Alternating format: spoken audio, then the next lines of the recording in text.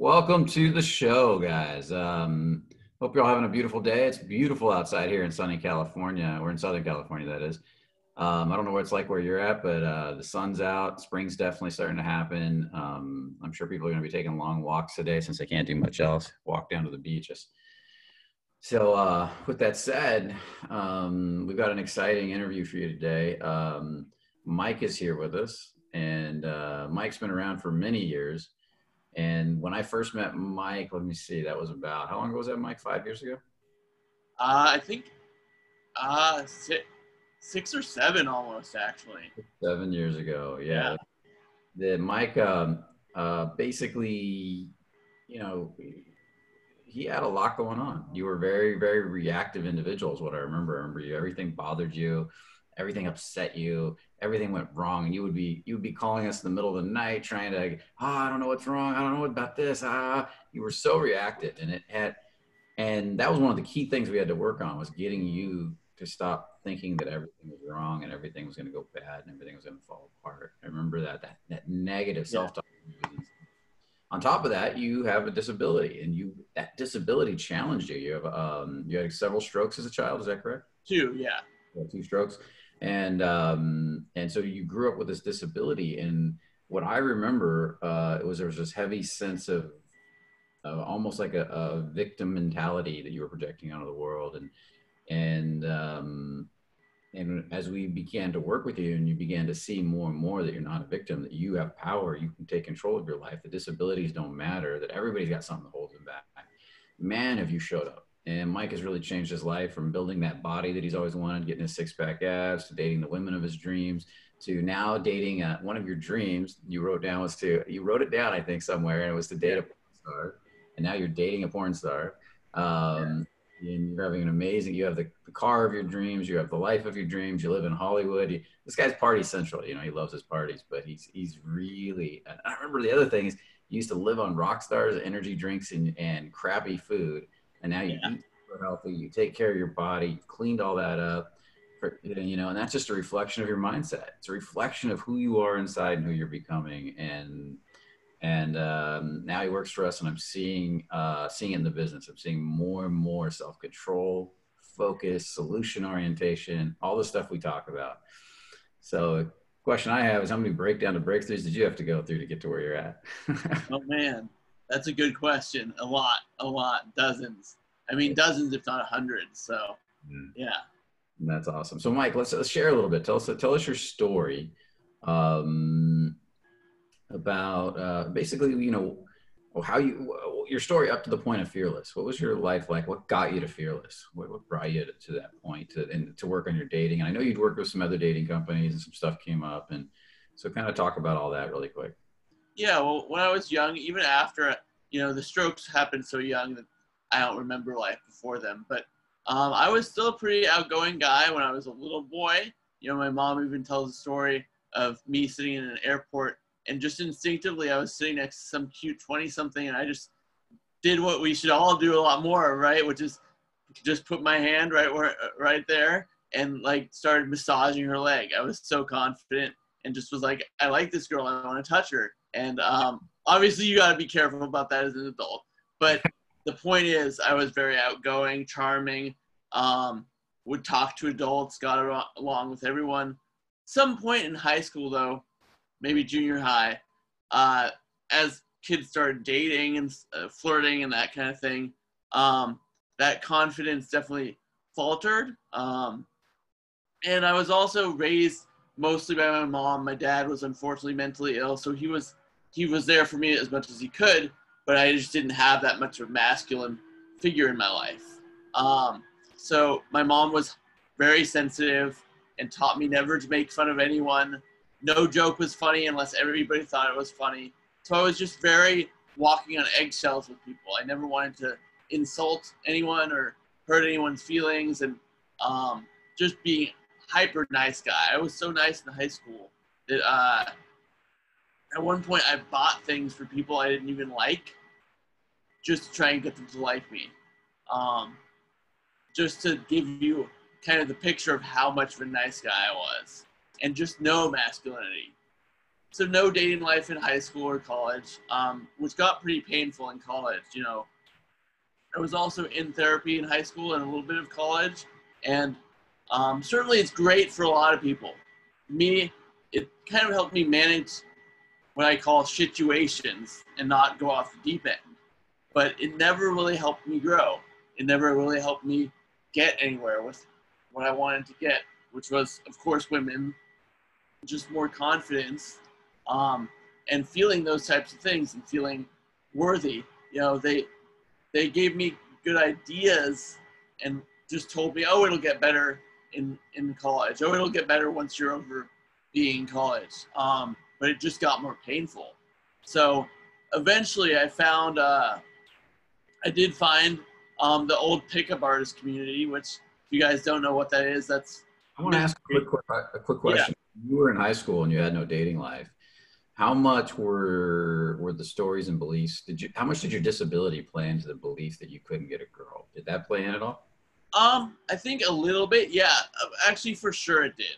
Because I definitely, when I would very rarely run into somebody my age, um, even people, I guess even people at my high school that were disabled.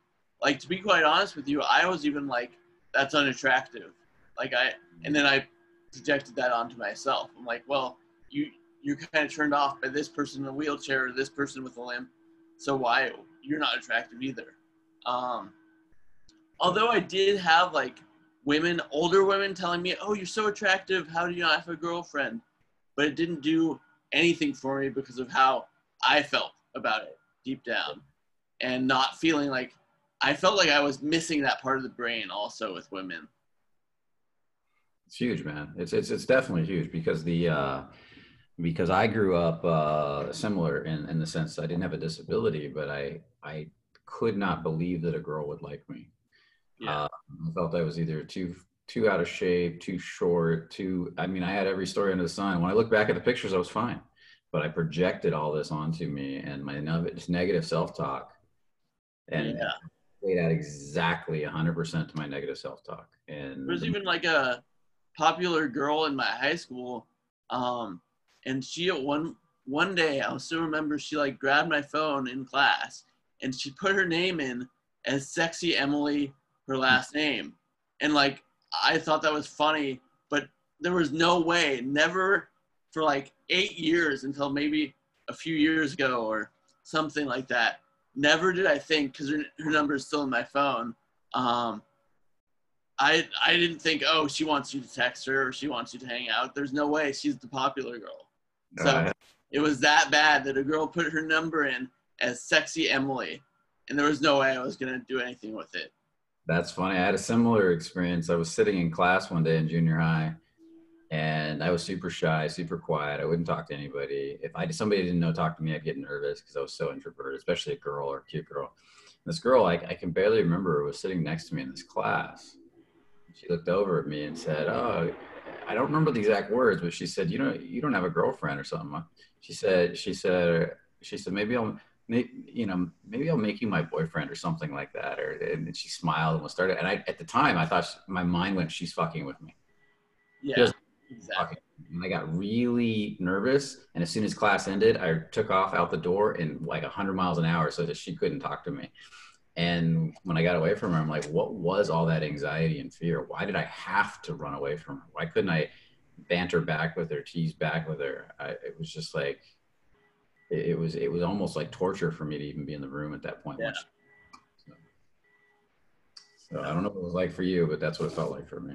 Yeah, I mean, just a lot of, you know, I think the the opportunities were limited because of how I was being with people. Just such a nice guy, but even even in that case, again, there were these little opportunities that came up.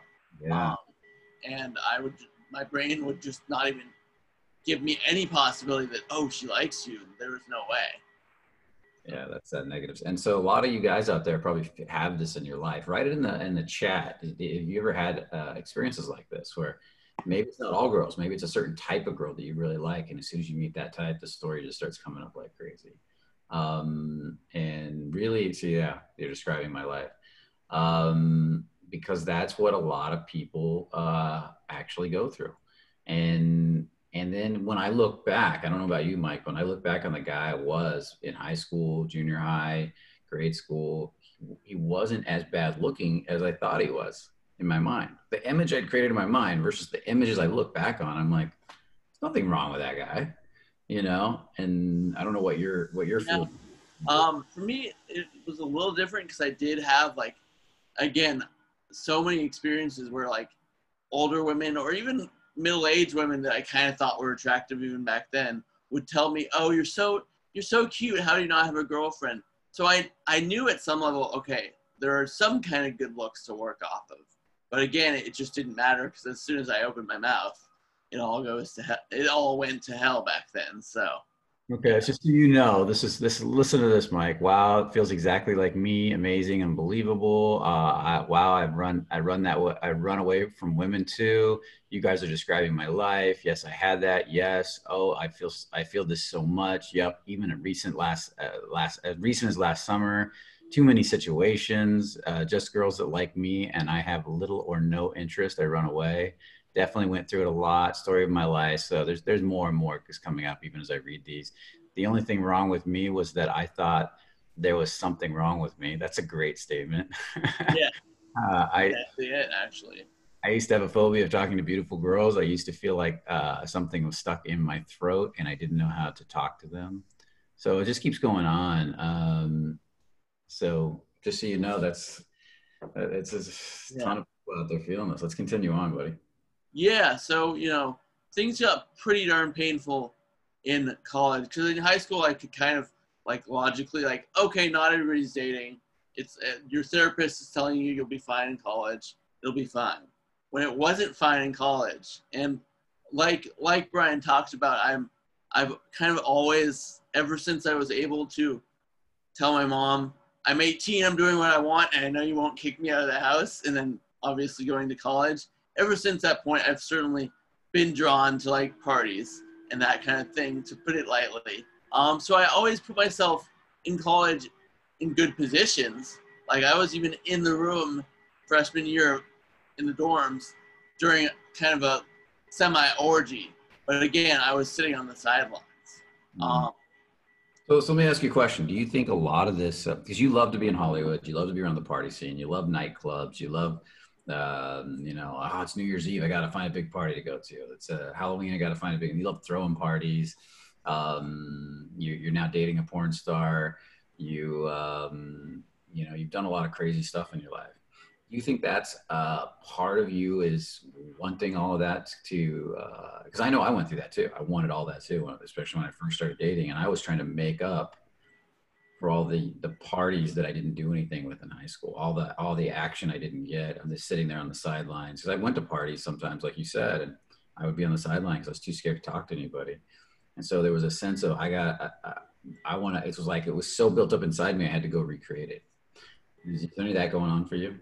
Yeah, for sure. I mean, I try and keep an eye on it and release on it, but um, there's definitely some wanting to make up for the past and that kind of thing. Yeah, you've become a lot healthier about it. You used to be, uh, remember the old you was a little more destructive.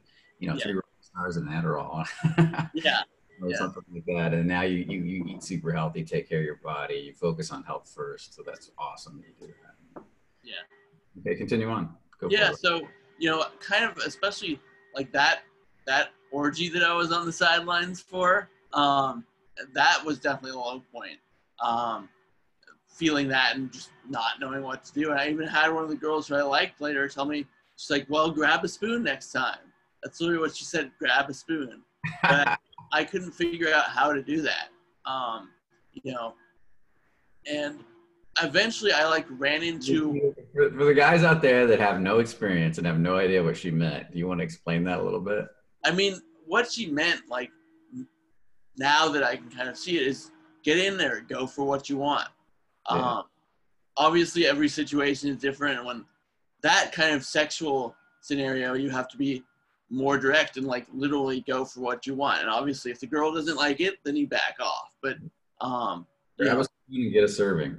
yeah, just you know, you see a girl in that situation on that bed that you like, go go engage her, pretty much. Um, but uh, yeah, my confidence, there's no way I was gonna go do that. Um, at that point. So eventually I did run into the pickup Artists um, society. Um, I never actually read Neil Strauss's book. I, re- I went right to Mystery's book, like how-to book.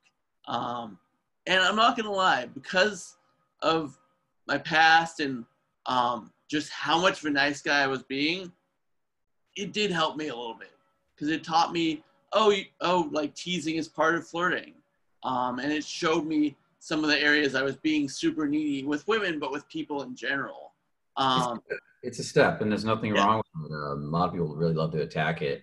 I don't think it's the answer for a lot of guys. I think some guys actually get worse when they take that step, or they get better in the beginning, then they get worse. yeah, Um, because in the beginning, it's all new and fresh, and they're excited, and that excitement gets them some results, and then they try to get really analytical with it, and they get worse. But yep, that's right. That's exactly it. I mean, I wish I'd found someone like you before I found the pickup artist. Awesome. society because it did help me a little bit, but that was very limited. And there are still things kind of in the back of my mind sometimes about like, oh, don't DLV, demonstrate lower value, all this shit that's actually like just completely operating from insecurity and trying to put a band-aid over the insecurity rather than deal with the insecurity. So Did you have a routine stack? And Yes, I had a whole routine stack on my on my phone where I would be like, okay, A1, which is like the opener, like, and then do this and this and this. Um, and it did help a little bit. You know, it also got me a date with a cute girl in my in my journalism class. Problem Well, was though, That's the process of taking action, though. You took some Yeah. action. yeah, I did take action. I did. I definitely took action. Um, but again, when I would actually get on a date with girl that I halfway liked, again, I still felt like shit deep down, so it didn't go anywhere, which only drove more pain, brought up more pain. It, uh, you know, wow, this cute girl liked me, and now she just wants to be your friend. Um, so, you know, it only got me so far. It also like I knew back then, even at my that level of self awareness, that the more extreme stuff like, um, oh, tell girls about your your stripper ex girlfriend, like to so you look cool, like you dated a stripper. Even though you never have. and you Yeah. Yeah. Yeah. Now I could pull that off, Yeah. but I wouldn't need to use that anymore. Um, Back then, there was no way a girl, a halfway conscious girl, was going to believe the way I was being that I dated a stripper or anything like that. Um, and there was just like a lot of lying and manipulation. Um, so eventually, I did find a much better personal development company at that time. It was a lot more uh, genuine. They gave me good beliefs I could have about my disability that it could be a gift. Um, taught me some more real confidence. Um, I started to have a little bit of a dating life. So somebody understands. Somebody asked, "What's the uh, what? What basically? Uh, what word did you use here? Uh, Merit to pick up. Yeah. So, and because for the people that don't understand, because a lot of people don't understand what that was today, and it's all, um, you know, when you think about pickup, it's not about person. The original pickup wasn't about improving your internal state as much as it was doing external things that cool guys walk, talk, and act like a cool guy. Yeah. Say the exact words a cool guy does. Move your hands like a cool guy. Stand like a cool guy, and you'll be a cool guy. Fake it till you make it. And Trying- Yeah. Dressfully, like peacock. Peacocking was the big thing, right? So it's like mystery. Everybody, yeah. And so what? Whereas there's the idea is interesting.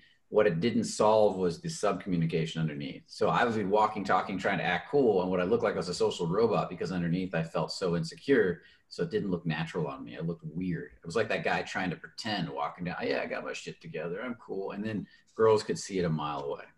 Unless you were already fairly confident and then you just tried this stuff and then you were like, wow, this is kind of cool because it would work for the fairly confident guys. yeah, yeah. Which I was not. You know, I went through a whole peacocking phase too, um, trying to wear these terrible shirts, like these, you know, shirts basically with like writing on them that would draw attention Yeah. to and all this kind of stuff. um, And I'll Um, say this one more thing for you guys. It, the fairly confident guys, all I really had to do was take them and shove them into a girl and that would work too. yeah, They didn't really need all that, but they thought they did. Okay, Yeah. go. for it. I'm sorry to interrupt there. no worries. So I found this better personal development company, and like I said, I kind of started having a little bit of a date of a normal dating life. I felt much better than I ever felt in years and years since I basically started caring about girls. Um, but it still felt like grasping at straws. It still felt like I was getting lucky. Um, and most of the girls were not very attractive. It, it, was like they were cuter than before, but I was still doing a ton of settling. Um, and it still all felt like getting lucky. And the thing is, they gave me those good beliefs I talked about that the disability could be a gift, that, that I could, that I was attractive, that, you know, women do like me.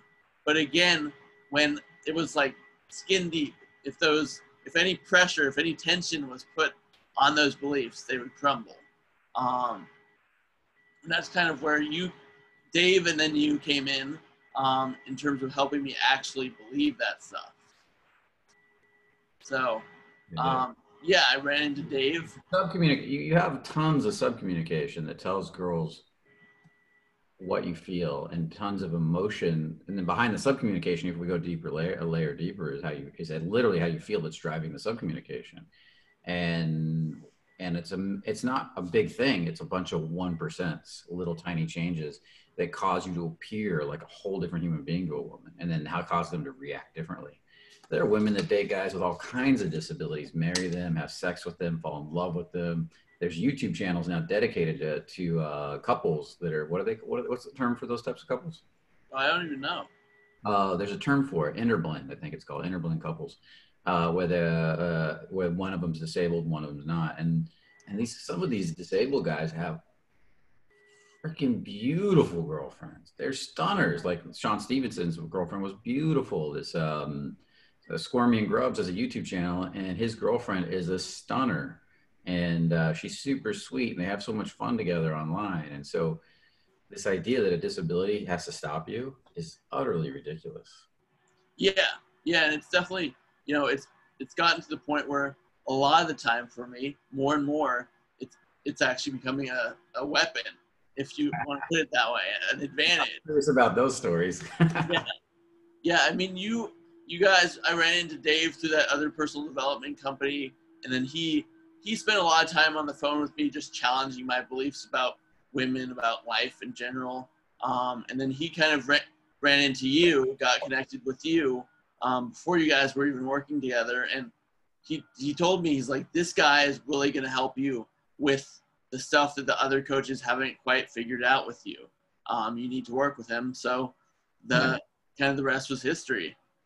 Yeah, and I remember we met at that Starbucks and kind of went from there uh, when I was in Studio City at that time. And um, yeah, yeah, and you've changed so much since then. Um, so radically. The the one thing I'll, I'll always remember is how the littlest rejection, the littlest a girl looking at you funny, not calling you back, like taking an hour or two longer to call you back or respond to a text you would be just losing your mind emotionally, not knowing what to do. What does this mean? This is all wrong. And then you would say stuff like, it's all going to fall apart now, or I can't remember the exact words.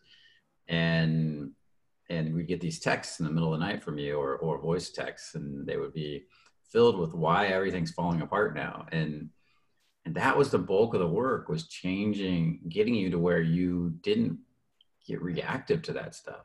And can you talk about some of that? I mean, that's yeah. the way. I, that's the way I pretty much remember. Can you talk about it? Yeah, you know, um, I just had along with these, you know, down deep bad beliefs about myself. Um, again, nobody. Ha- I had never had any masculine figure in my life. Um, had never ha- had any masculinity, any grounding. Um, like we talked about, being able to actually get aware of your body um, and slow down that analytical mind.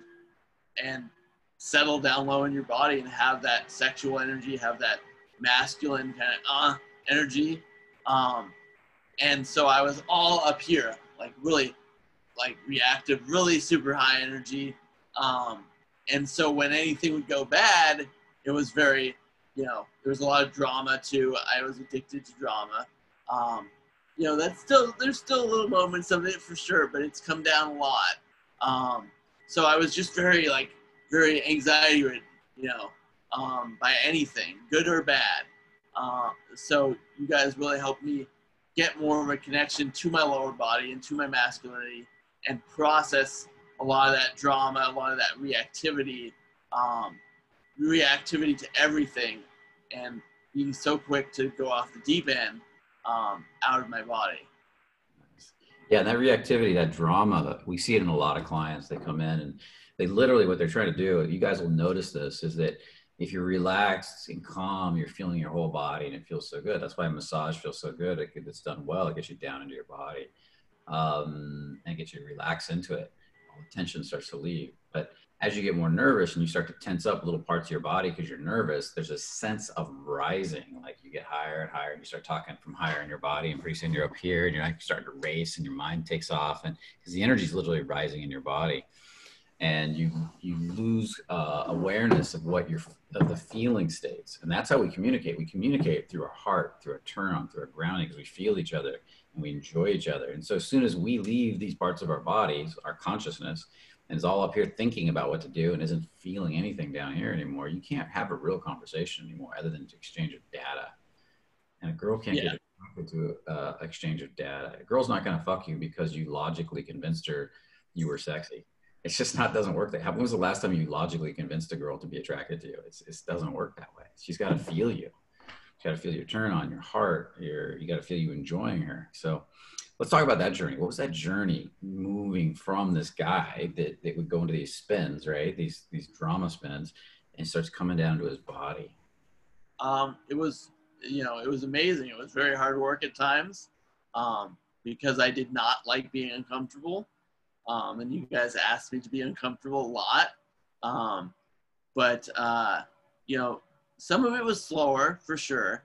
Um, the part getting into my body and getting lower in my body that was really a lot of fun. Like I just started feeling like a completely different human being. I remember, especially after one particular uh, movement and feeling workshop, just walking around my our house property here um, in Hollywood, and I was like, I just feel like a completely different person.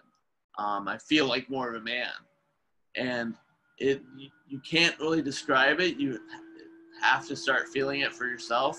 Um, but it's a really amazing thing. I felt more mature, you know, again, as we say, more grounded, um, and just a lot, a lot of the the model work that we do, you know, standing in front of the models and letting your kind of letting your shit come up and deal with that with the beautiful woman right in front of you. Um, and then the movement and feeling work was just huge and like shifting who I was being just moment to moment.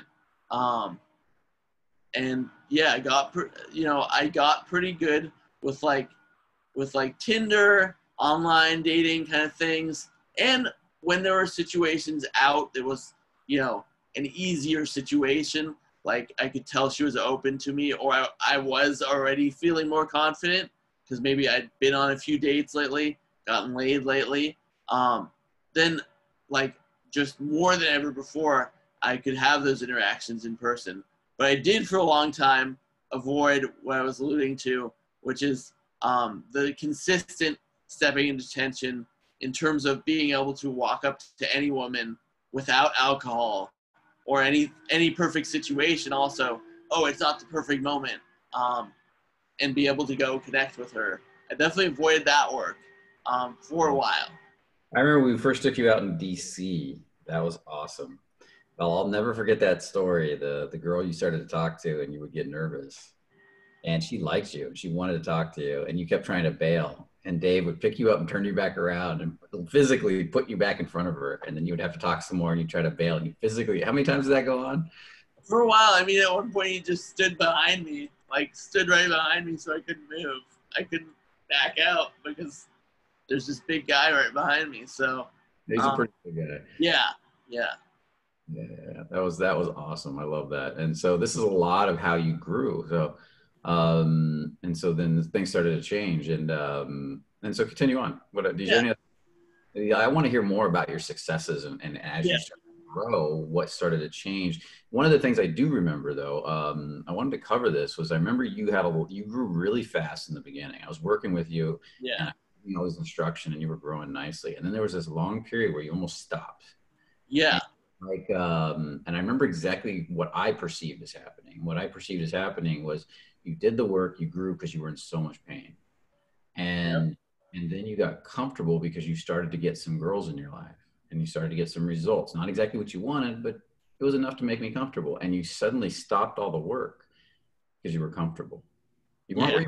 Be but you were comfortable. And that's what most people do in life is they settle with comfortable. They don't settle for for they don't and they don't push themselves to excellence. Then there was a period of time i don't remember how long it was where you just kind of i was like okay he'll come back when he's ready. And then now you're like a fucking machine again of i want it. I now want to be excellent. I want to go for it. I want to change my life. So let's talk about that journey on up and, and what started to happen. As you yeah. Yeah that's yeah. Um so like i was kind of saying i got you know really pretty good with tinder pretty good if while I was out if there was a perfect situation or if I met a girl through my social circle. Um, but it was still like, you know, way more attractive girls than I had ever ever dated before. But again, there was that there was that part of actually being willing to, you know, walk up to a girl without alcohol, without the perfect moment or the perfect situational thing I could say, um, and and talk to her without. That's the big goal. That's the one that's eluding yeah. you. You got to get that one down. Okay, continue. Yeah, on. and I just wanted that freedom also, because um, I saw you guys um, and you know coaches that were coming on. Even a coach that I brought into the company from another personal development company shooting up, and I was just so scared though to do that work. I didn't want to be uncomfortable and go through the rejection. Um, so as you talked about, I kind of you know got I settled with my somewhat comfortable dating life for a while. Um, and there was still again a lot of when things wouldn't go well, you know, things looked like they were falling apart. I wasn't as crazy reactive, but it, it was still pretty painful and I was still pretty reactive to it. Yeah, so there's that balance between uh, I see this guy taking off and I brought him in and I've been here longer and he's gonna pass me up. And the pain yeah. of and then also the fear of well if i go do the work to become who he is then i have to face my stories i have to face the part yeah. afraid i'll never be able to do it the part of me that, that i'm going to fail so what do i do i'm just going to keep letting them even though it hurts more it hurts really bad i'm going to keep watching them take off and i'll and i'll dream about taking action and making stuff happen rather than actually doing the work even though i have the opportunities right in front of me. Because to face it might mean total failure. Until eventually that pain got so great you said fuck it i'm willing to face that total failure. Is that about yeah. right? Yeah that sounds uh, spot on you know. I started working for you guys doing you know uh, doing some of the helping out with some of the marketing um, youtube production that kind of thing um, writing uh, but so I, I watched these guys grow and like i knew it was happening um, but i was just so scared of facing the work and facing my shit um, to get the freedom that they had. Um, so I, I watched that for years, honestly. Uh, and I would grow a little bit here and there. I kept growing, but at just a very slow, like comfortable rate, like just barely on the edge of my comfort zone, not willing to really fully step outside it, step into the tension. Um, but then, kind of in the last year year and a half, I I was like, okay, you know, you're not getting any younger. I'm not old, but I could see those years going passing by me where I where I, you know, didn't make the most of them. Um, and that pain, like you said, got enough that I finally started, you know, putting myself out there every night, um, every day or every night. No alcohol, of course, because when we do when we do the work, especially, you know, do I drink a little bit on my own? A lot less than I used to, actually. A lot less than really any of my non fearless friends. But yeah, I'll still drink on my own time, but never when I'm actually, you know, okay, I'm here to grow. We definitely don't believe in that because it, it numbs you out, which is what I'd done in the past. Um, so giving that up was hard too. Um, being willing to fully face those emotions.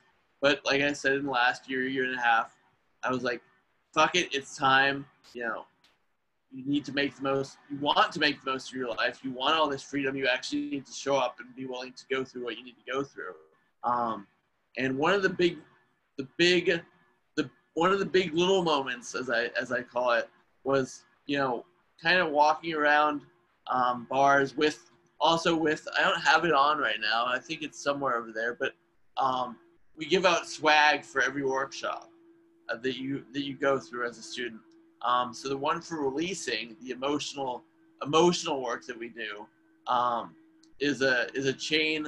It says uh, courage, acceptance, peace, which is the top of the AGFLAP CAP emotional scale that we talk about, and then fearless on one side too.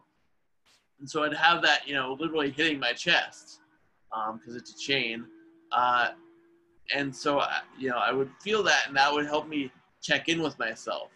And I started asking myself, I'm like, okay, well, are you making it?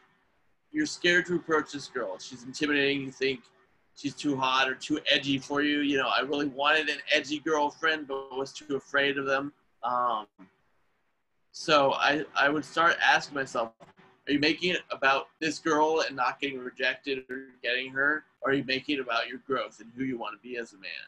And when I started asking myself and feeling into those things in the moment, in myself, it helped me move forward and start to talk to girls and um, a lot more, you know, start to talk to all the girls that I wanted to in the bar. And um, that definitely led to, you know, the woman that I'm dating now. Nice, nice. So that's awesome. So let's hear let's hear some of your stories about that because you you just told us an amazing story about how you you you really stepped into your willingness to fail, and that's the biggest fear that everybody has. It's this willingness to fail and to actually see the darkest part of themselves, their shadow, the part they're most afraid to see. And you were saying to yourself, you know, uh, up until then, you were three feet from gold. You were staying three feet from gold. I'm not going to cross this because that three feet is going to determine my whole future. That three feet is going to determine who I'm going to become as a man and what my future is going to be like. And I'm scared to find out that answer. And then you finally reach a point where you're like, fuck it, I want to find out the answer um, because I don't want to go to the grave. It's ultimately what's what's going on. I don't want to go to the grave as I'm getting older, not knowing. I can face what's on the other side of that, but I can't go to the. But to go to the grave not knowing has got to be the worst experience ever. Yeah. So I this a lot of this relates to me too, and so you did it. And so what started to happen when you started to face that? When you stepped into that that that, that scariest part, like you're you're facing your deep darkest demons now, right? So what happened? Some amazing things. Um, like and I did have flashes of it before that. Um, like during one program I was taking with you, I think it was a three month program, um, or maybe it was a six month program we had. But I was out uh, on Valentine's Day with two other fearless guys, um, Brexit, who James, and uh, N- yeah. Yeah. and who else was it? You said. Nitsan. Um, he was going out with us a lot too. He's got uh, he's got hearing aids. He's got a little disability too. Yeah, yeah. He's working with with limitations himself. Um, James and I were in the in the class together, so we were out doing homework, and then Nitsan would all often tag along to work on it as well.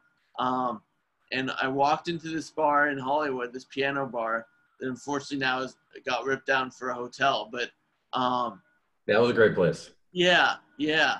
I immediately like saw this black girl and I I love my black women. I love a lot of different types of women, but those are the ones that I'm most drawn to. And anyone who knows me, it's we all we laugh about it a lot because it's and it, it, like it's an extreme draw for me. Um, so I saw this cute little black girl sitting with her friend talking, and I was like, wow, she's she's got to be the cutest girl in the bar. Um, didn't go up right away because I could tell they were like having a very intense conversation about something but I um, I went and posted up on this railing nearby um, and just started to kind of okay ground feel your feet feel the environment even take her like look over and take her in like allow myself to kind of get turned on and feel it. Um, then i turned away and turned back and the friend's gone all of a sudden. And i was like shit well you gotta go now. Because the friend could come up come back maybe they're about to leave.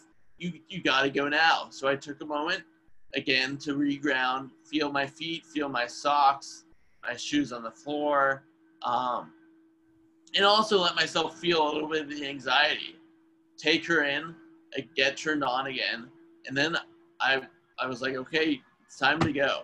And so I walked up right to her, and the magic word was hello.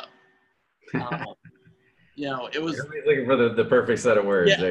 Yeah, literally it was over at hello. It was game over because I didn't try and say hello a certain way, but how I was feeling from that embodiment work and that feeling work, the hello almost hit her like a wave and almost knocked her off her chair. And she was like, "Who? Like, hello? Who are you?" And then, um, literally, I think ten minutes later, we were making out at the in the bar with her friend sitting right there. Um, and honestly, that was me moving slowly because I was still again feeling a lot of nervousness, feeling a lot of anxiety. But even even that, with all the work I'd done and knowing that I needed to lead things where I wanted to go, um, I was making out with this beautiful girl on Valentine's Day in the bar. Her friend right there, her friend liking me, um, and uh, yeah. Then you know, like I even saw her the next night, which I was like, shit. The pickup artist and people say not to contact the girl too quickly. Don't do that. You'll look needy. And I was like, no. The thing is, what would a conf as you as you taught me, what would a confident guy do? A confident guy would do what he wants. Um, so we went out the next night, and she stayed over. Um, even when she said she like, no, we're a- I'm absolutely not coming home with you. All this stuff. Um, dated for a while, and she actually was talking. She was pretty quickly like talking to her grandmother, who was like her mom, about me that I might be the one. Um, which was crazy. Having this beautiful, this sexy little thing walking around my room half naked most of the time, um, telling your family about me. But I had some bigger plans. Um, you know, I kind of wanted a very sexual, poly kind of lifestyle.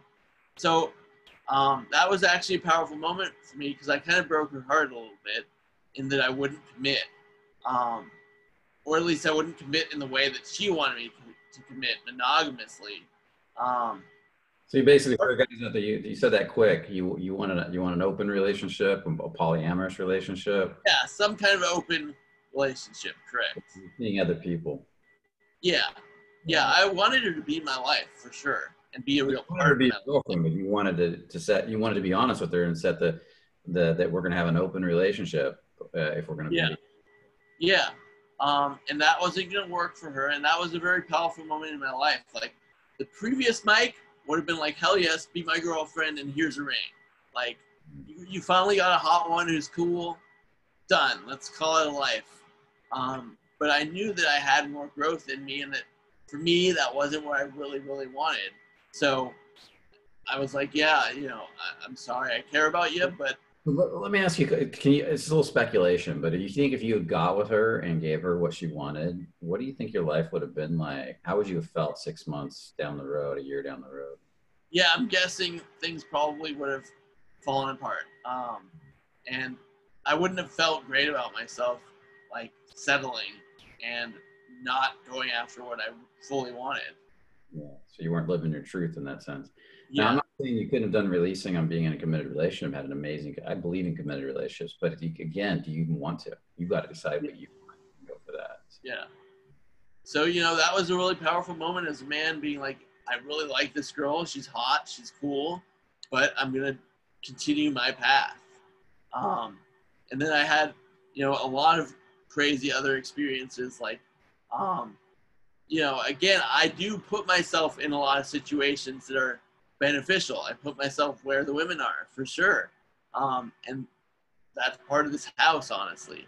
Um, this house that I live in in Hollywood is kind of a crazy place. It's settled down a little bit, but there are a lot of people rolling in and out of of the house that I put myself in.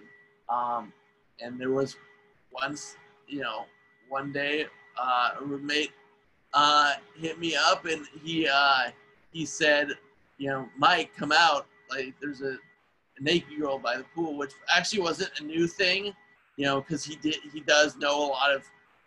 Again, we're in Hollywood. He knows a lot of crazy people.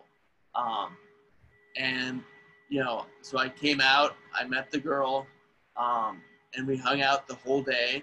Um, she was a, she was actually a dancer. She she stripped, um, and like hung out the whole day. Came back to my room late late that night, and it was funny. This was actually a really vulnerable moment for me because she was kind of like, uh, you know, she had a lot going on in her head, and she's like, "Should we go out and hang out with your friends again?" Um, because she she wanted to be there with me, but she didn't. She had a lot of stories going on um, herself, and we got to, we were talking about it, and I even told her at one point, you know, even if nothing happens, I'm having a great time with you, um, you know, and and there was a moment where I realized I really wanted her validation, and of course, this is something the pickup artists and really most dating experts that I've seen would t- would not tell you to say, but something told me just be real with her. You're learning to be real. Be real with her. And I was like, I forget exactly how it came up, but I just told her I was like, yeah, I guess there's you know there's part of me that wants your validation right now. I admitted that to her. Um, Ten minutes later, we're in the jacuzzi, fucking. Um, so it was really vulnerable for me to share that with her, but I think that's definitely part of what like opened her up to wow, this guy is really, really cool. Um, so those moments of vulnerability just really, really powerful. Well, vulnerability is one of the big keys. And for those of you guys that aren't on the, uh, well, no, you can't see them. I'm sorry, guys. Um, there's uh, vulnerability calls with Eddie Brick because he loves vulnerability, and we teach vulnerability big time because it's so powerful when when you own it. And he does those on the private, secret Facebook page with guys who've done programs. But what I want to do is have Eddie do a few calls, maybe within the series or separately to the YouTube page, because he uh, he, he loves talking. so good at it. He's married now with a beautiful woman, but it's his favorite topic. So we'll get we'll get Eddie to teach a little bit about that too. Yeah, yeah. Um, so there was that story.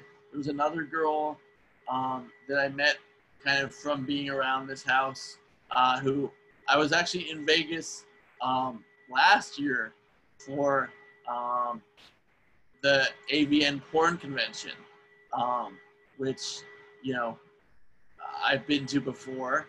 Um, this is basically uh, AVN is like the biggest porn convention of the year. It's where all the porn stars come together to get their awards, like the Oscars, and they they are they're all hanging out all day in the bar. And it's usually done at the Hard Rock Casino, which just got torn down. It's going to be the Virgin Casino soon.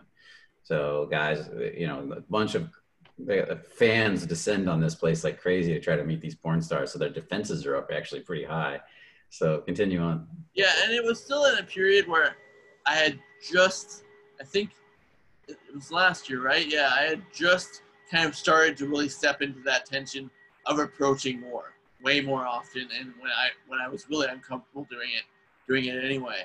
Um, so I was, you know, I was using the the convention as an opportunity to talk to these girls, um, and try and approach them. It, you know, I was having a lot of fear and resistance coming up, um, but you know, I was on my social media posting to my Instagram and this girl happened to see that I was in Vegas, and um, she hit me up. She's like, "How long are you gonna be there?" Um, and then she sent, she's like, "I might come out and play." Um, and we'd we'd we'd kind of made out a little bit here when she was staying here for a while, but nothing really crazy had happened. Um, she slept in my bed, but she wouldn't really let me get anywhere. And she was playing a funny funny game, and I probably also wasn't quite leading enough.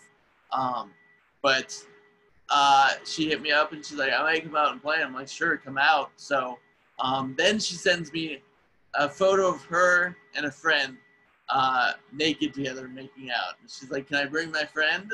Uh, absolutely. So um, it was funny because I was staying with actually John, Jonathan at the time um, at, across from the Hard Rock where the convention was.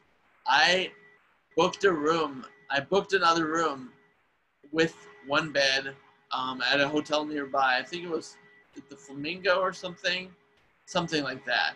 Um, and uh, got the room. Getting away from Jonathan. yeah, yeah. yeah. I need. I I needed to see if I could make this uh, make this three way happen because that was definitely on the bucket list too. Um, that didn't quite happen, but what did happen was kind of amazing.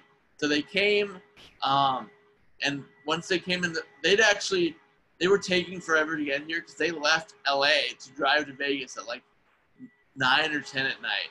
Um, and I was like, well, you're not gonna sit in the room and wait for them. That's super needy. Go out and have a good time. You know, go on with your Vegas trip. And so they actually were back in the room. And then when I came back, um, the first thing that happened was like we just all sat on the floor, and I I don't even know how this really happened, but the girl, the main girl that I knew, um, just started a three-way makeout, and I made out with both of them at the same time, um, like all mouths everywhere, um, which was pretty amazing. Um, and then basically we spent the whole night like kind of um, just screwing around. To be honest, we were we were naked from like 3 a.m. to like noon, and then went went to bed at like 10 or noon the next day. Um, and it was just kind of one of those crazy Vegas nights. Like, again, just to be be 100 with people. Sex didn't actually happen, but like a lot of a lot of fooling around, a lot of tits in my mouth, all that kind of stuff happened, and it was just like it was honestly one of the most amazing nights of my life um, so far. So, um, just and then and then of course because again you do have to realize if you like the party, the party girls, that's gonna come with drama. So next the next day they had a bunch of drama, um, the two of them together, and they actually like left town. So I had to deal with a lot of drama in that too. But um, that first night was amazing, one of my best nights ever. Um, and I just couldn't really believe it was even happening. Nice, nice. Congratulations, man. Yeah. That's amazing stuff. Um, and that's the stuff that a lot of guys dream of. And, and for those of you on the call that came in late, Mike, uh, you know, Mike's overcome a lot in his life. And, uh, and a lot of guys have so many excuses as to why they can't even get one girl, and here you are fooling around with two girls all night long, and, uh, yeah. and reality shifted Matt uh, massively. So what's the, what's next? Continue on with your story. What what happened next? Well, another another piece of it that was kind of already intermittently woven in there was uh, the swinger scene. So we talked about you know that I wanted to have a sexually open lifestyle. Um, and certainly Chris Alvino, who was an old student of yours, who I was actually in a lot of classes with, he'd gone very, um, he'd he'd become a swinger, a bit of a swinger king, I think we called him. So he kind of he kind of served as a model for me, like that. Wow, you can actually do this. Um, so I started going to um, some swinger parties. Now a lot of them are you have to bring a girl, which makes a lot of sense, right? Um, so to kind of just initiate myself into this lifestyle so that when I bring a girl myself, like a girlfriend, into the lifestyle, that I'm more grounded and comfortable in the environment. I actually took a female friend who's one of my, who's a stylist that I work with sometimes in Hollywood. Um, that I, I met her years ago and she gave me. That was the one where you said, "I want to go to a porn a swingers party. I want to go to a swingers party. I want to go to a swingers party," but you wouldn't go. So we set a drop dead date. You got to go to a swingers party by this date, or something was going to happen. yeah, happen. no, it was during the six month program. Um, it was you either go to the swingers party or you get kicked out of the program. so I eventually there was one day where you're like, you're buying the ticket at you kept putting it off, huh? Yeah, you told me you're buying this ticket at break. And Chris Alvino is in the room. So he's like, just help him buy the ticket. You're buying this ticket at break and you're figuring out a way to get there. So, um, So my way to get pension. we talk about the pension all the time. Go, go for it. yeah. So I, you know, I brought this, this cute stylist friend of mine, um, into the situation and got, it wasn't, it was also watered down. Like the hotel messed up some stuff and had some public guests in the hotel. So they couldn't, we couldn't go completely crazy. Um, which was maybe a good thing because I got initiated into the scene, meeting people, um, more comfortable in the environment, um, and that kind of thing. And you know, that was my initiation. Was was it was like it was like a more risque dance club was what it was. And then we did go back to someone's room, but my stylist friend wasn't wasn't comfortable with the guy, um, so we didn't really do anything. Um, but from there, I kind of got started researching um, lifestyle a little more in LA, and it's big here, um, the swing scene. One of our other clients, um, I'll leave his name out, uh, found a swingers party that guys could go to um, as single guys and just kind of pay double what the couples pay. So I was like, okay. So I started um, going to those. Um, definitely, and this was like, they call it a swingers party. It's more of a sex party, if I'm being honest. Like, it's more, it's definitely like the extreme version where you walk into a room and there's a couple or two couples on a bed um, fucking, and everybody else is kind of standing around. A lot of the guys are even like it gets very extreme. If it's not if if you're not comfortable with a lot of dicks, it's maybe not the kind of party for you, to be quite honest. Um, but it was like it was definitely triggering the first time or two. Like, oh my god, what kind of environment am I in? And I still did have a feeling because of all the anxiety of like, how do I, like that girl said in college, grab a spoon. Um, but I slowly started like, like exploring a little bit more. And one party I was at, um, I mean, there were some girls who just liked me who like were like, yeah, hey, what's up? Why aren't you over here? And so they would make it a little easier. Um, and there was one time I found a room, and of course, you know, saw this black girl with her boyfriend, and um, they were kind of finishing up what they call a scene or a session, whatever. Um, and she got up and was getting dressed right next to me. I hadn't really said anything to her because I was like, I was also told by some people, you know, give people space after they finish up what they're doing. You don't want to immediately go try and flirt with them. You want to give them some cooling off space um, before you go try and engage them in a, se- in a flirty or sexual manner.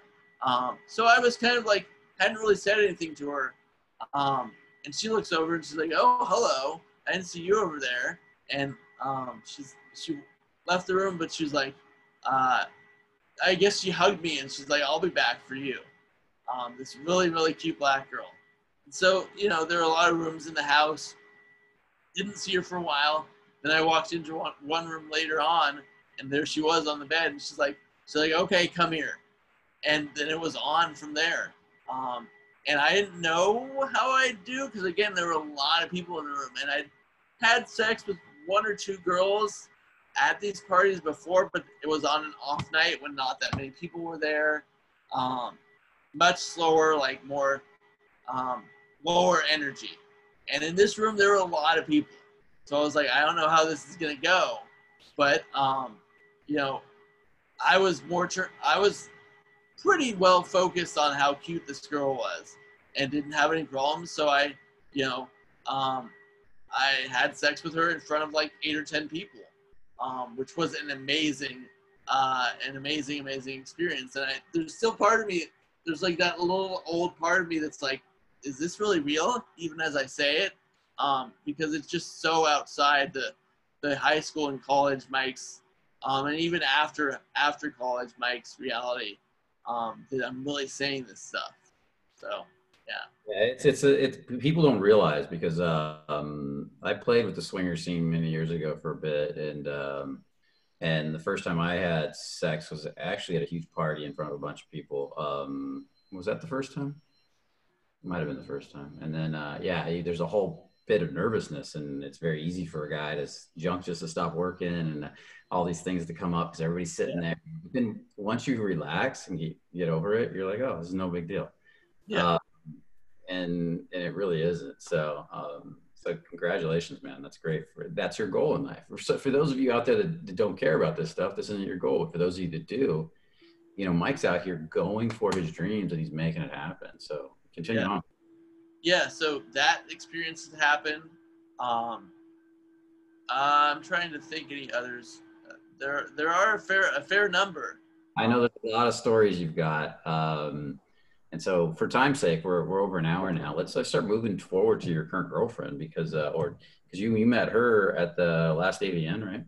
Yeah, yeah. So um, then went again this year to, to AVN.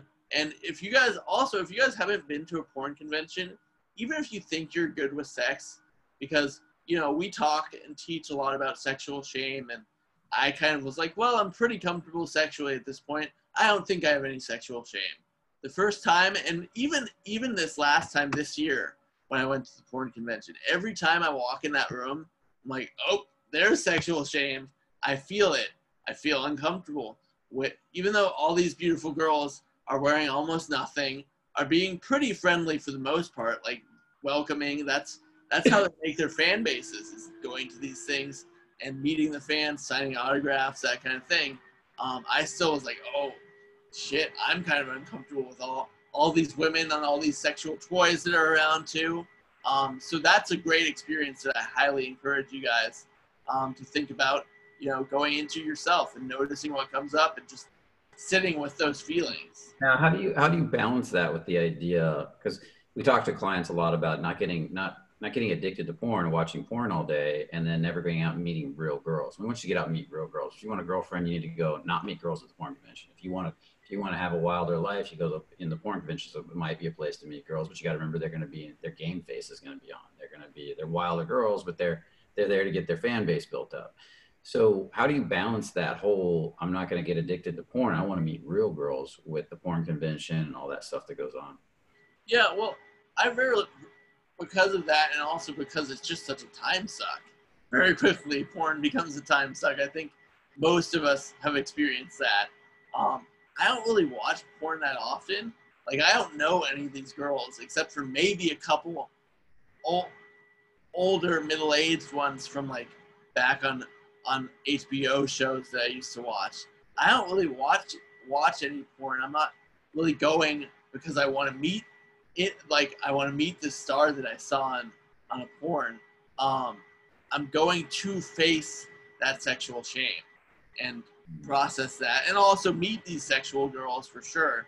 Um, but I think even for someone who just wants a much more standard, you know, normal um, girlfriend and normal relationship, I still think it's a great experience because emotions are going to come up and feelings are going to come up from being in that environment. That if you sit with them and you use um, kind of these grounding and releasing tools that we teach um, or similar tools uh, to process those emotions around sex, that's going to make you that much better for any girl, um, in my opinion. So, yeah, awesome. great experience for everyone.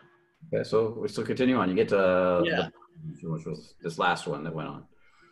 So yeah, you know, I've started approaching um, girls much more by this year, like much, much more. Um, that really wasn't an issue to at least go up and talk to a lot of these girls. There's still resistance. How, how are you going up to approach these girls at a porn convention? So I'm sure this question's coming from a lot of the guys. Yeah. Um, uh, it's usually I'm very direct. Usually I'm, I again, kind of like I talked about in the piano bar with that girl on Valentine's Day, take them in, let myself get turned on, even feel the nervousness, feel my grounding, my lower body, um, and go up and just talk to them. Um, are some going to be closed off because they are there working? Absolutely. You know, I have to be willing to be rejected. And sometimes I notice myself not willing to be rejected in those environments, but I was stepping into it way more than ever before. Um, so I'll just walk up, kind of look at them, and tell them what I think about them.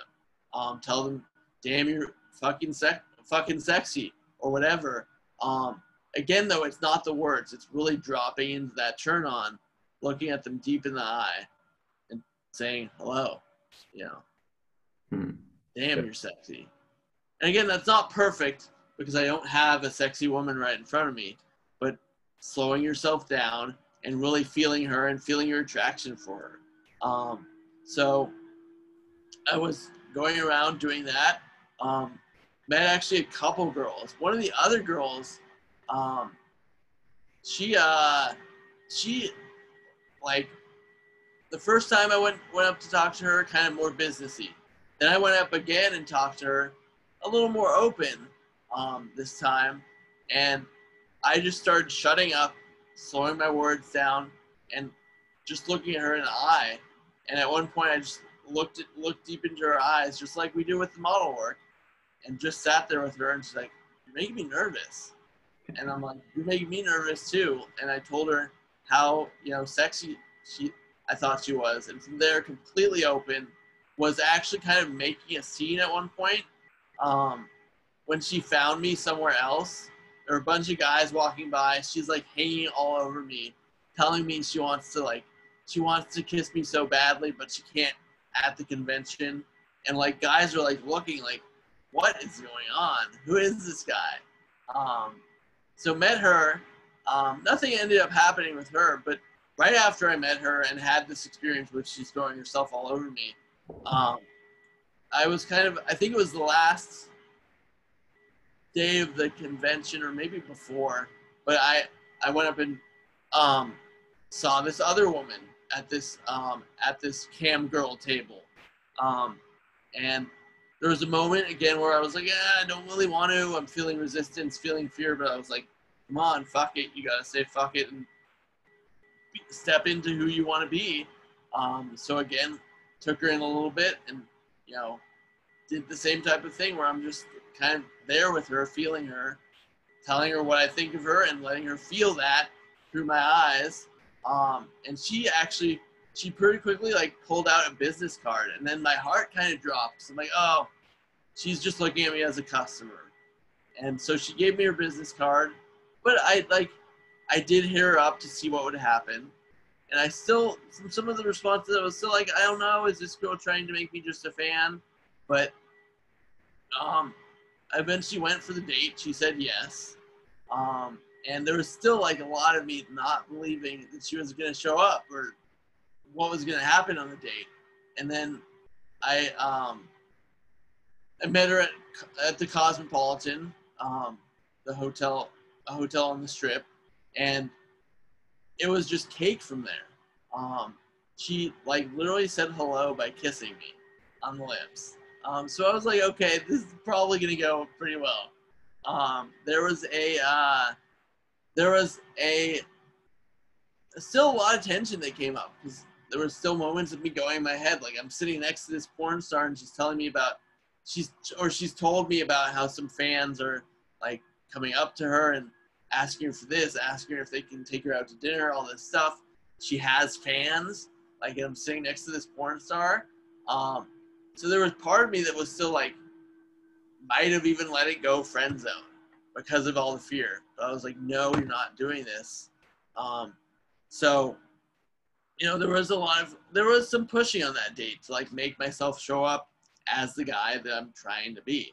Um, but I led, you know, I, I grabbed her hand pretty quickly while we were sitting at this one bar and put it on my, put it on my leg.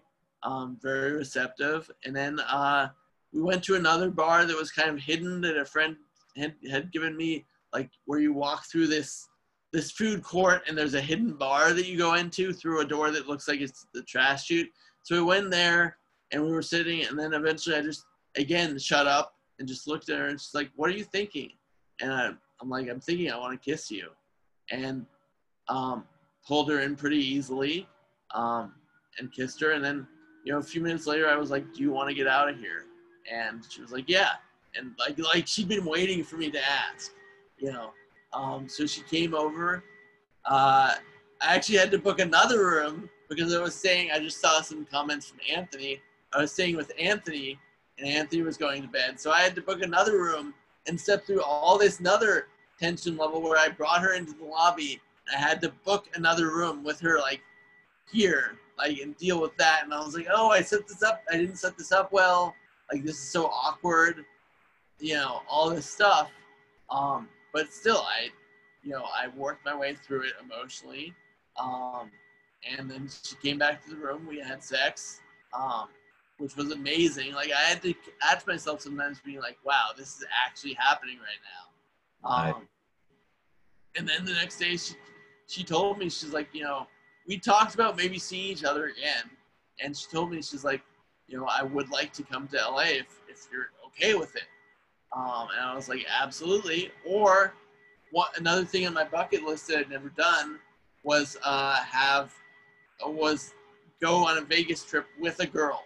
Like I'd always done party trips or trips with friends, but never been dating a girl in Vegas, which I always kind of wanted to do. The romantic part of me wants to have this romantic adventures together with girls.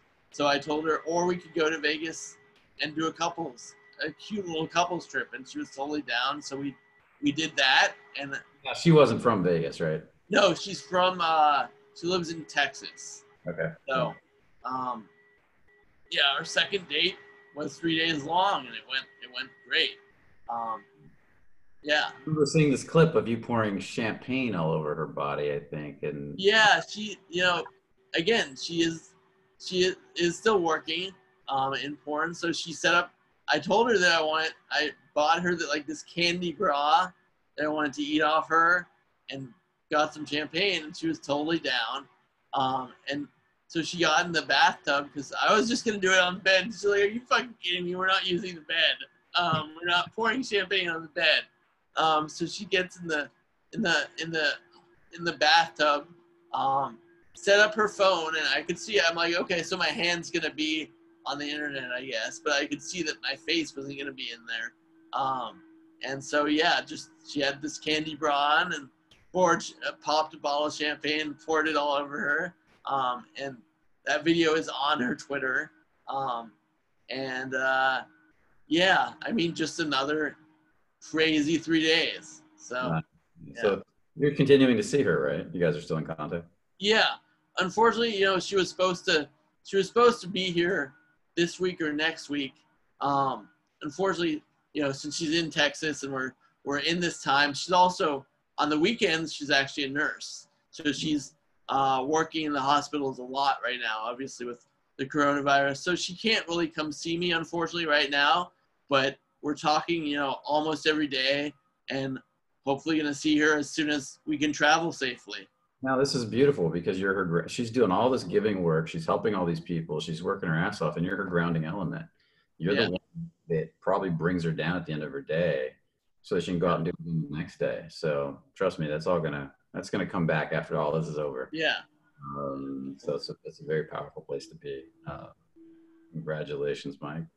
Um, well, we're an hour and 17 minutes in. Uh, what I want to do really quick is there anything else you want to tell everybody? Because these are amazing stories and you radically shifted your life. And, and, and for those of you that, that maybe tuned in later that you got to realize, you know, Mike started out really insecure. Uh, he does have a disability. You can't see it on camera, but he's got a, he had a stroke and, um, with him sitting there. So you've got a limp and you've got an arm that does, it's a little, doesn't work very well. Right. And so you guys, and the reason I bring this up is so many of you guys think something like I did. I used to think, oh, my, I'm losing some hair up here. Well, how can girls like me? Oh, I'm not tall enough. I'm only five eight. Why would girls like me? And actually, how tall are you, Mike? You're a little shorter than me. You're five Uh, seven. yeah, five seven on a good day. And so I had all these stories, and and then you look at somebody like Mike killing it right now, and your stories don't mean shit, guys. Like let it all go. Uh, Eddie was amazing with women until he got married, and he's still amazing at, on the calls. And he's five two. He would kill it. So don't don't let your story stop you, and that's why Mike's here to show you. You, yeah, you got to go through tons of like he went through tons of breakdown and breakthroughs and terror barriers along the way. You got all these reasons you weren't going to succeed, and as you're going through each one, look how your life is different now. Yeah, yeah, completely, completely different life, completely different human being. Yeah. Okay, so Yeah, awesome. Um, so let's take a few questions and then we'll, we'll to end the day out, uh, close it up. Um, and uh, let's we're not going to do the morning routine today, whoever wrote that, because that's not the subject. But uh, we'll, we'll- I do want to get to a call around that at some point. Um, uh, we'll go with this one. How do you have more self worth? Um, how to give more priority to my needs over others uh, so I don't care to be nice to them? And it's you can care to be nice to people, but and that's first thing I'm going to say. Don't think you can't care to be nice to people. You shouldn't be nice to people. It's the it's the I have to be nice to people or I'm a bad person is what you want to get rid of. Go, go ahead. You want to say something, Mike? yeah, um, definitely on that last point, just checking in with yourself. Am I am I doing this because I'm enjoying just giving, or do I want something in return? Which we've talked about, I believe, on these webinars a lot. Like, if if it's giving with any kind of hope, of course, maybe there's always a little something, but if, if there's a pr- primary energy of I'm going to get this back, that's where it's not not giving, not really going to serve you. And in terms of self worth, yeah, it's just doing a lot of this work. Um, also, another thing I'll recommend for people um, that you had me do that was terrifying at first I absolutely hated it at first, was taking yourself out on dates. Just like you take a girl out on a date, um, treating it like a real date, going out to dinner, that was the worst one by myself. I had this story from. It's not, not, a, not a cheap restaurant, like a nice restaurant yeah. dressed up. Yeah. Um, shave, shower, you know, treat it like a real date. Treat it, treat yourself like you treat women, um, or like you would treat a woman. Uh, and, you know, I had this story that it's, sad and awkward to eat dinner by yourself at a restaurant. And it was a pretty damn big story. Um, the first the first couple times I did it, it was, and not be also not be on your phone the whole time, you know, distracting from feeling awkward. Um, you wouldn't you know you wouldn't be on your phone the whole time. I hope on a date. Um, so you know, leave the phone in the car, uh, and just feel all the emotions that come up. Um, and so, you know, doing stuff like that, learning to enjoy it, you know, go from it being painful to actually enjoying time with myself um, was was big. I got that from David Burns in a book called Feeling Good. First book I ever read on personal growth when I was really young, and I started to do it. And one of the things um, he said in that book that I was the reason I did it was the core reason was if you don't enjoy your own company, how can a woman enjoy your company? If you don't like hanging out with you, why should she like hanging out with you? If you won't dress up for you and take care of you and treat you special, why should she? Why should she dress up for you and treat you special? Yeah. Those are all really good points. Um, let's go on to the next one. Um, hi, Mike. Uh, hi, Mike and Brian, but I'm going to address this to you because it's a, it's a fun question. How can I change my belief that I have a small penis or a small dick? I can't pursue most beautiful girls. Uh, even um, uh, a small dick, I can't pursue most beautiful girls. So that's the question. Even though no girl I slept with complained about it, uh, many beautiful girls I wish I would sleep with tell me that size does matter for them, which just uh, squeezes me from the inside, and I feel I'm not worthy of them. Yeah, well, certainly there are girls that will call themselves size queens. Um, some of, a few of them are like legit, um, but most of them, again, a girl will have a type, right? Um, that she's like, oh, I like this kind of guy, or I want this dick size. But a lot of the time, if you, most of the time, really, if you're showing up as a solid, confident, sexual, you know, grounded guy, that stuff is going to go by the wayside really quickly. Yep. And some girls are just saying it to, to, to see how you react, to test you. Yeah. Some girls are actually size queens. Some girls are actually size queens in the reverse. They want smaller penises. There's a lot of those because it hurts them to have bigger penises. Yeah. Um, under the sun. I've never had a girl complain about my my cock size um, ever once, and I used to have that same fear. Never once. Uh, most of our stories about cock size come from watching too much porn. To be honest, we watch all these guys that are hired in porn because they have big dicks, and we think that's the norm. It's not even close to the norm. And girls know that. So that's another so yeah, so um, so you know, and then I oh, here's a good story. There was this guy. It was God. This must have been ten years ago. He he had a average to smaller cock, and he said, "What I used to do to get myself over it was I go out with girls and I start talking dirty to them right away."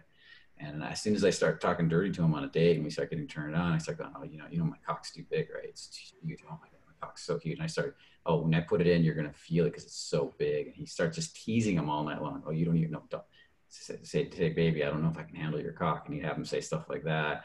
And then he goes, and I pull it out. It's not big at all, but they always go because the girls' minds, their fantasy mind is so powerful and they love to play in it. It's not about necessarily the physical literalness. It's about the play and the, and the, and the fantasy. So he goes, I'll pull it out. And eventually they'll be like, oh God, it's so huge. It's so huge. I, I said, I don't know if I can fit in you. And they'll be like, oh, put it, let's try, baby. Let's try. And he goes, and I don't have a big dick at all, but we're playing this whole game out and they love it. And they dance with me and we play and we have fun with it. So so that's a guy who who just turned it into a game, you know, um, and then got over his own story that way. So um, I'm gonna jump past that. And so, um, how do you improve? Okay, so you've done a lot of work with this. How do you improve your subcommunication? Like you've done a lot of work with change. Your subcommunication has radically shifted. You used to give so much like reject me subcommunication, and you're and even the eye contact you just did on the screen earlier, where you were like practicing hitting on that girl at AVN, was so was pretty damn good. So how does your how did you change all that subcommunication? Yeah, it's doing all this feeling work. Um, you know, stepping into tension, like like we've talked about, to trigger the emotions and how you really feel about yourself deep down. Also, even if you're not working on women specifically, as long as you're a guy that's into girls, th- these situations where you go up to a strange woman that hasn't invited you over and you're trying to connect with her, find out who she is, those are, are the situations that are going to bring up the most insecurities that you can work with for the rest of your life. But um, in terms of, yeah, subcommunication, it's um, really like getting out of your head. That was so huge for me, and like getting a relationship too, especially in my lower body. Um, again, the thing I always when I'm working with guys and trying to help help them ground, and the thing that works for me most is like literally, um, this is only one level of it, but it's a way into your body, right? Is ask yourself how your how do your socks feel against your feet? Right now, guys, even how do your socks feel against your feet right now on this call? How does that feel against your shoes, against the floor underneath you? Like, what does that feel like? And then that starts to get you access to your body, to your lower body, to your grounding. Um, and it's a lot of that work, like raising awareness of your lower body. Um, I'll even, sometimes even for me, like whether I'm in a workshop and I realize that I'm getting a little heady, or I'm out and, I, and some anxiety comes up around women or people in general, and I need to feel my lower body I'm having trouble, I'll literally tap or like massage like the backs of my legs a little bit, um, touch my back, you know, feel my spine, and feeling the back side of your body is especially where your your masculinity is, and it's also where a lot of grounding comes down um, the back of your body.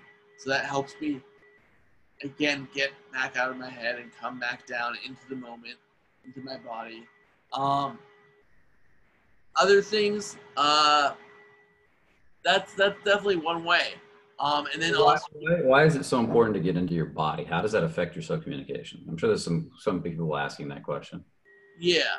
So, um, when you're all up in your head, like thinking really, like mostly aware of just your thoughts, you're just kind of a different person, um, you come off as more robotic, more like anxiety ridden, you know.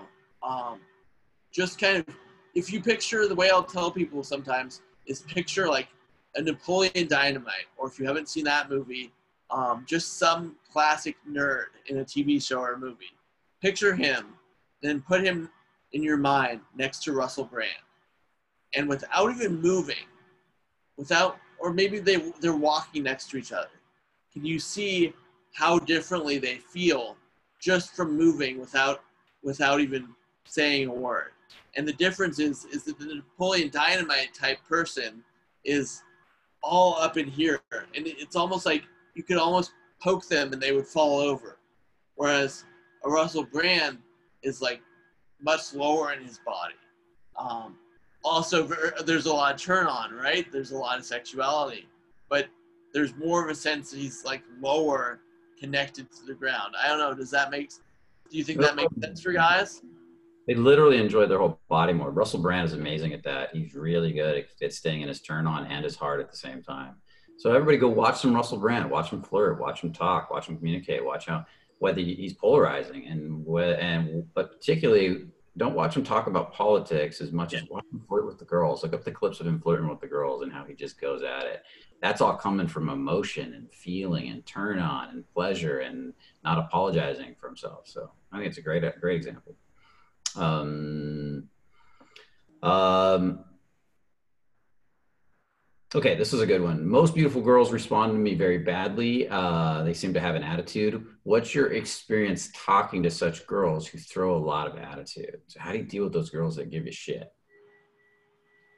Yeah, well, the more you put yourself in those situations and learn to get okay with getting rejected a little bit, because those are the types of girls that I'm drawn to, are very edgy, confident, outgoing, very sexual girls. Um, and there are still times I'll go up and maybe it doesn't go so well, but I'm always learning. I'm always, um, and you have to be willing to like get rejected, and even you, even have to be willing to feel shitty about it, um, and then use kind of Brian's releasing tools um, in that moment when you when you get triggered, when you feel shitty.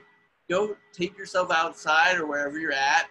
Maybe go in your car or just sit down on a bench if you're outside and process those emotions through releasing and allowing on those emotions and get free of um, that need for validation and also fear of being invalidated.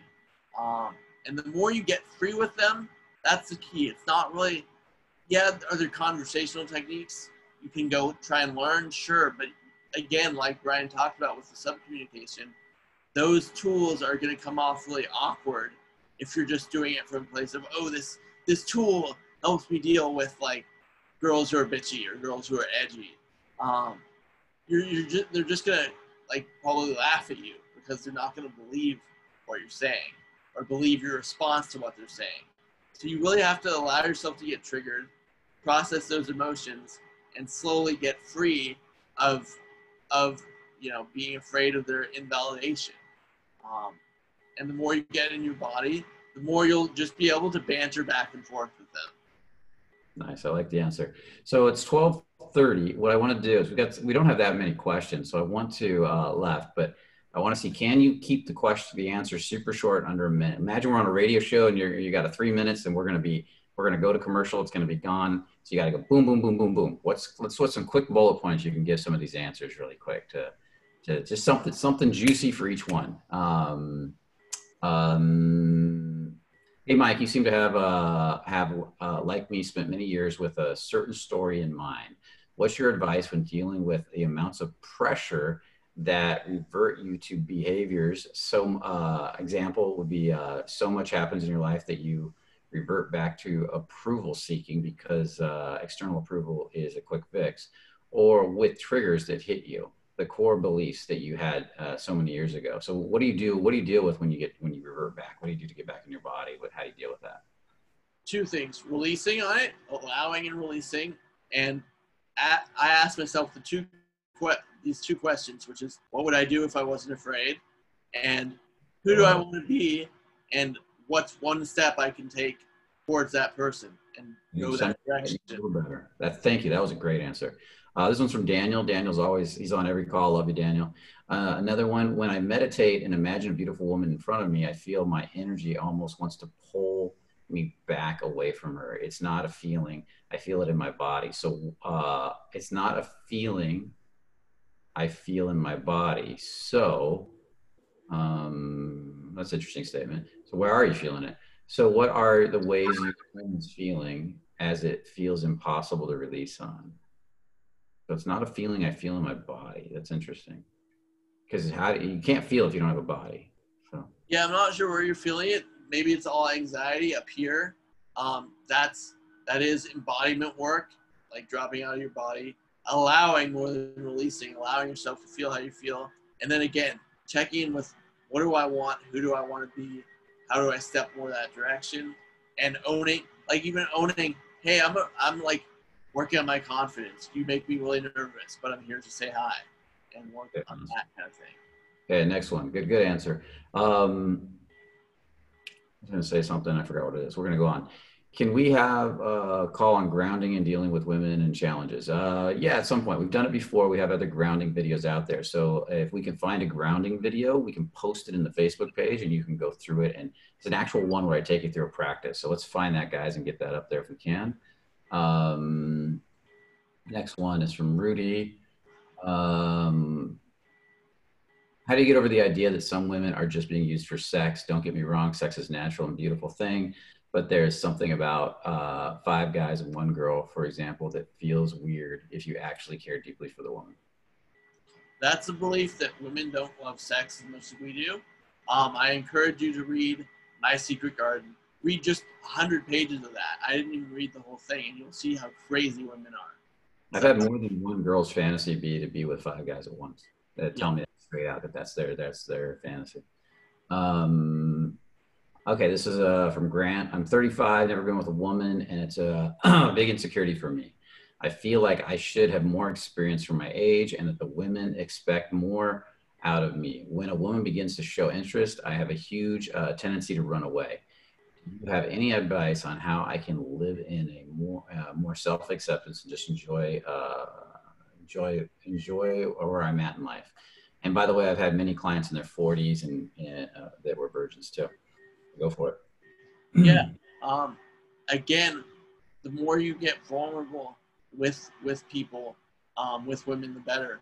You know, it may bring up a lot of emotion at first, um, but if you just go around, just go around saying, walking up to women and saying hello, saying, you know, I don't have much experience with women, and I'm working on my confidence with them. And I think you're really cute. I just wanted to say hi, and start there. Um, use the tension journal with that Google Tension Journal Fearless Man. There's an exercise. Um, and just start raising that tension level, but being vulnerable and owning that part of yourself. Nice. Um, for you guys out there, just remember for a lot of this stuff too, we have programs if you can get into them. Uh, we're working on online programs for some of it too, but uh, for we have the movement feeling workshops, we have releasing workshops, we have the dating workshops where you actually stand in front of beautiful women and you get to practice this stuff while we give you direct feedback. We even put you on camera and we show you how to meditate and release and process the emotions that come up on camera so your subcommunication changes naturally. So if you're interested in anything like that, contact your coaches. I know somebody put in the comments earlier that they wanted uh, us to put some more information about the programs over here because they were super interested in after watching you, Mike. So uh, let's make sure that they, they get those uh, get that information. You can get you can definitely get it on the website too. Um, okay, awesome. I think we're going to end it there because we're after 1237. Is there anything you want to say in closing, Mike? Because that was a great call. You gave a lot of great value. I watched you really share a lot of great stuff. So, so uh, anything you want to say in closing? Yeah, it's just, you know, when you go to work on this stuff, again, ask yourself the question I keep asking myself when I'm scared and don't want to move forward, which is who do I want to be and how important is that um, to me? And what would you do if you were not afraid? That's perfect. Let's, let's get those questions up on the secret Facebook page. And and let's and for any questions you got for Mike, let's put a little section on the secret Facebook page for this event, for this group, for the closed Facebook page. And you can ask those questions directly to Mike if you didn't get your questions answered, and you can answer those questions and talk, start some conversation.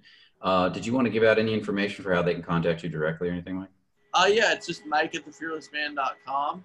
And yeah, if you definitely, if you guys didn't get your questions answered here yet, um, we'll put something up in the group and definitely ask them again, and I'll I'll get to it uh, later today or tonight. Awesome.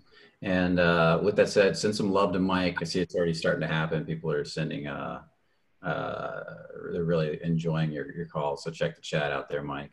Um, and for those of you that are watching this on Facebook, make sure to put those comments in, make sure to like. For those of you that might be seeing a clip of this on YouTube, make sure to like the video. If you haven't subscribed, subscribe, hit that notification button, especially if you got value out of it, man.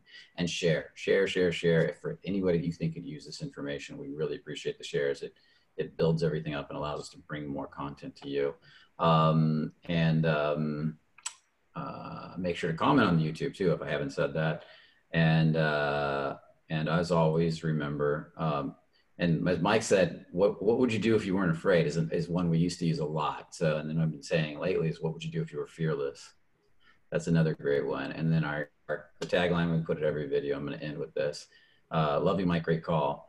And remember, what would you do? Uh, oh, I've got them all. I got them mixed up in my head now. Only the confident really live. Remember, only the confident really live. See you guys in the next video. Take care. Uh, by the way, the next video is tomorrow, and I believe it's on. Um, we're going to be talking about quantum physics and changing your subconscious mind, breaking down the movie What the Bleep, talking more about quantum physics. Going to be doing that with Sam. So yeah, I know you all you guys love Sam. So tomorrow's don't miss tomorrow's call. It starts at 11. Be on the call. Be ready to go because it's going to be a deep dive and it's going to be a lot of fun. And uh, you can catch Mike's video over. I saw some of you said you're going to watch Mike's video over and over because you got so much great value out of it. So again, only the confident really live. Take care. See you tomorrow.